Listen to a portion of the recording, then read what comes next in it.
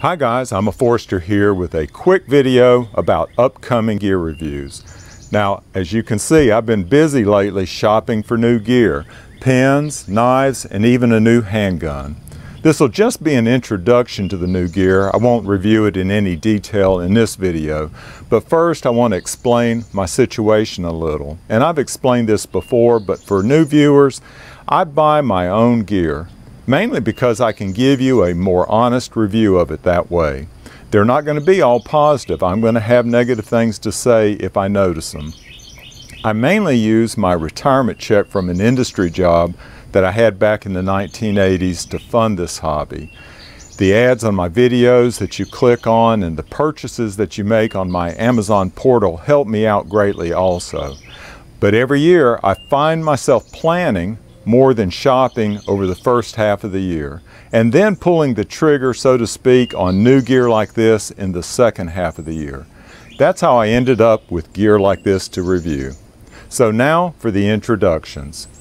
Okay, first up are these two Platinum 3776 pens.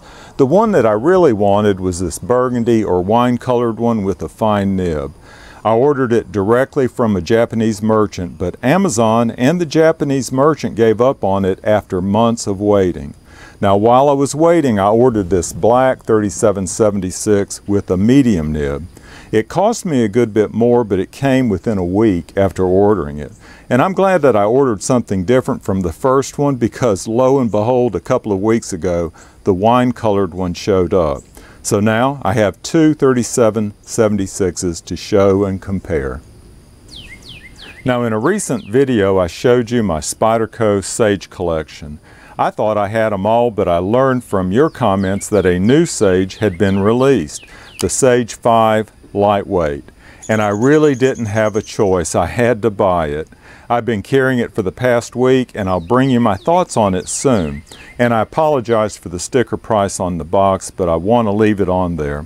Both of these knives came from New Graham Knives, and they surprised me by giving me an unexpected discount as a loyal customer.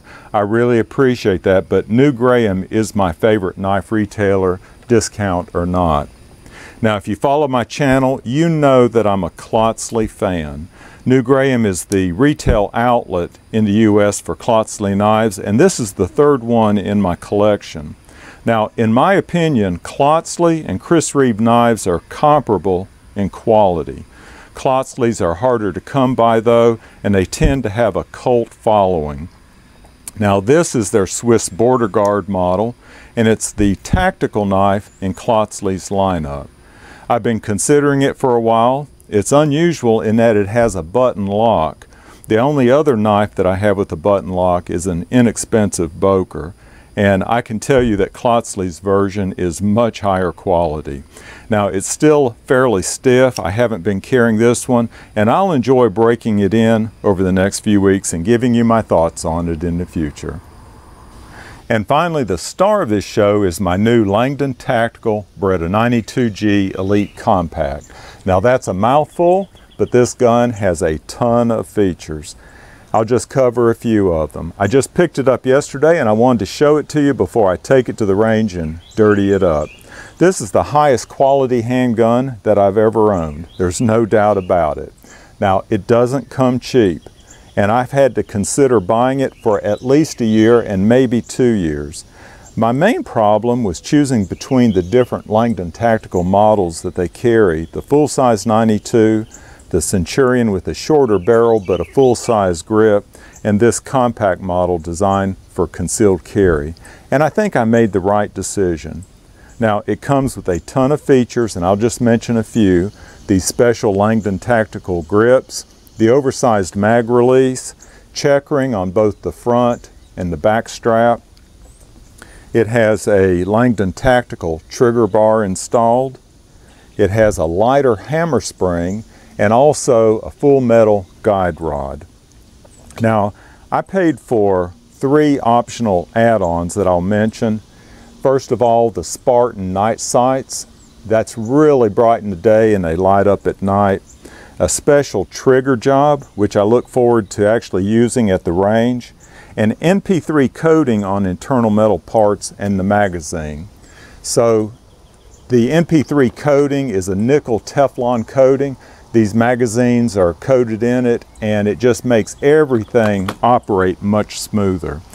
Now it comes with three 15 round mags, a Beretta lock, and the usual paperwork, which I won't show you right now.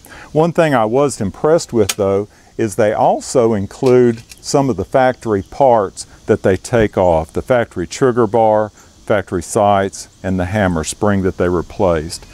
I'm looking forward to taking it to the range. So there you have it. This is the cast of characters that you'll see on my channel over the next month or two.